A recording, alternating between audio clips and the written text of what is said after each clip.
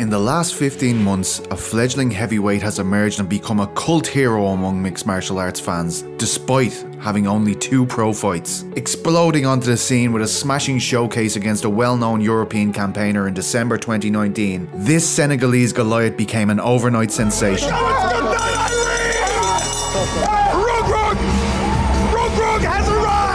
This is Petesy Carroll. Welcome to another episode of On Point Prospects, where we will attempt to give you the lowdown on a man who has taken MMA by storm, Oumar Reug Reug Kane.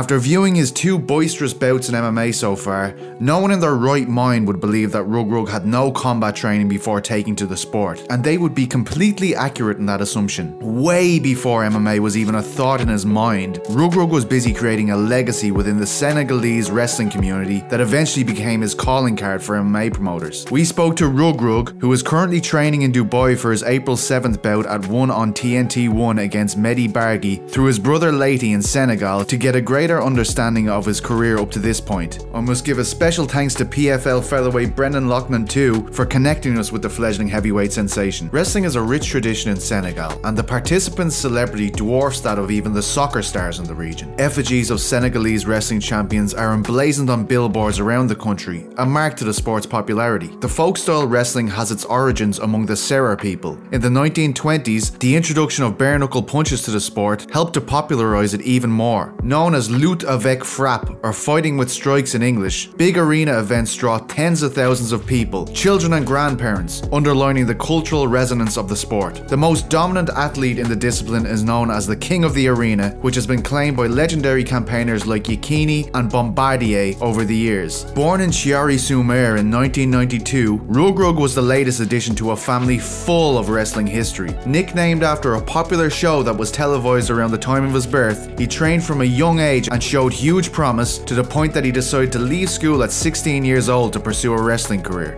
So when he was 16, he started the small competition, you know, in the in their area, like uh, on the beach, something like that. Wow. The small, small, small, small uh, competition.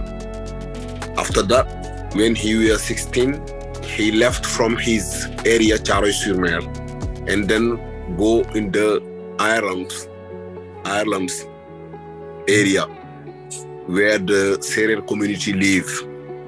So over there, there is a lot of competition. They are organizing every year. Training among the great coaches and fighters in the Serer community, Reug Reug gained a reputation for his activity and his willingness to take on all competitors. In terms of traditional wrestling, he competed in hundreds of bouts in some of the biggest stages in the sport, collecting the most prestigious flags available, flags being the sport's version of trophies. In traditional wrestling, the three time African champion's accomplishments are unanimously praised by the community. In these last 50 years, nobody done what Omar done in the in the traditional wrestling in Senegal.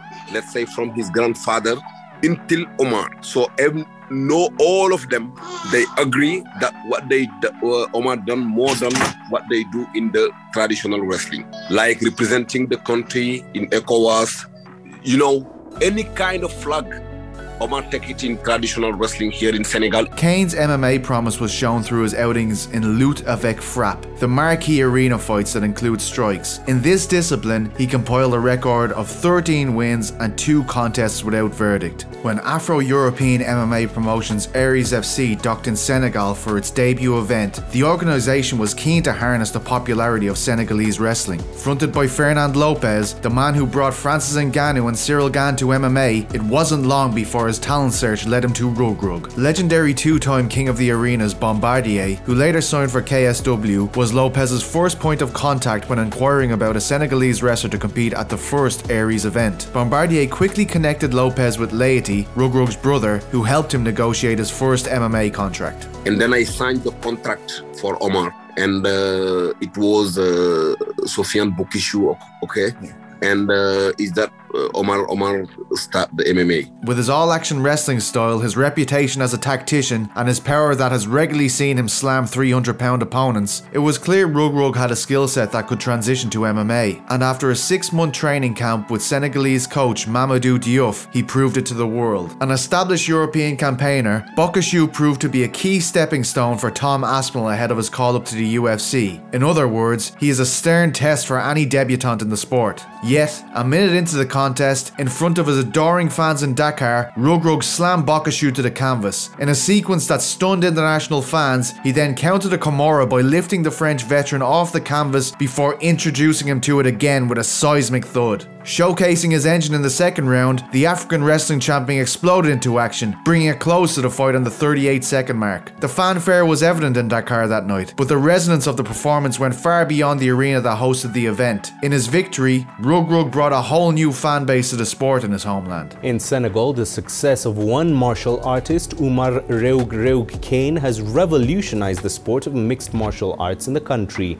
It may have been just one victory, but the event held in Senegal last December has inspired a region of young people to take up the sport. Fans waited over a year to see Reug Reug back in action, but due to COVID forcing ARES events to a halt, this time it was under the One Championship banner. In an initially tentative display that mirrored the feeling periods of a Senegalese arena fight, Reug Reug kicked into action late in the first round. A signature takedown led to brutal ground and pound, which eventually sealed his first victory with the Asian promotion. With his history in combat, the viral nature of his performances, and the level of opponent he is already running through in the sport, on the back of the successes of African UFC champions like Francis Ngannou, Israel Adesanya, and Kamaru Usman, it feels like Reug Reug is poised to become the next African MMA superstar. His next fight with Mehdi Barghi takes place on Wednesday at One Championship's TNT debut, but unlike Ian Garry and Mohamed Mokaev, who were previously the subject of On Point Prospects features, he doesn't see his next fight as particularly pivotal, nor did he acknowledge it as one of his toughest challenges to date. Does he feel like his next fight is his hardest fight to date?